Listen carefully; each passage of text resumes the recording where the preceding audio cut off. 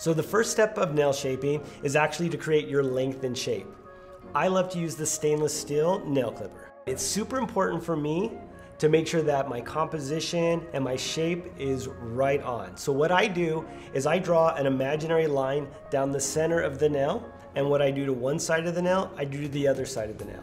I start at one side of the nail and I clip it towards the center. If I want a more dramatic shape, Obviously, we're just gonna move the clipper in a little bit further so that I get more of a pointed shape. And then what I do to one side, I do to the other.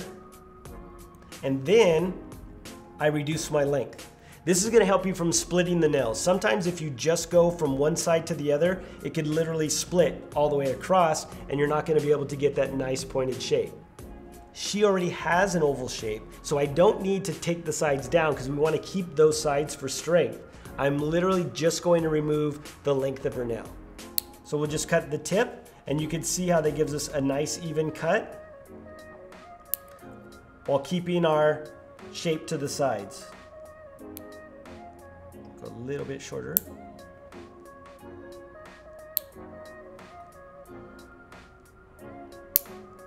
Now that we've determined the length of the nail, we want to perfect our shape and we're going to use our file to do this.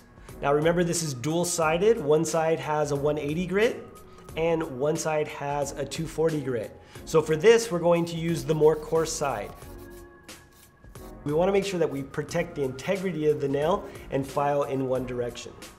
So notice how I just tie the sides in, leaving the length that we created, and then filing from the corner to the center, corner to the center. Again, drawing that line down the center of the nail, what we do to one side, we do to the other side, what we do to one nail, we do to all 10 nails. So we've used the 180 side of the file to create our basic shape. Now we want to refine and perfect our shape using the 240.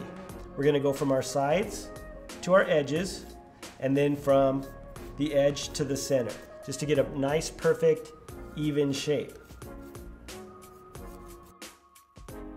So there's our nail shape.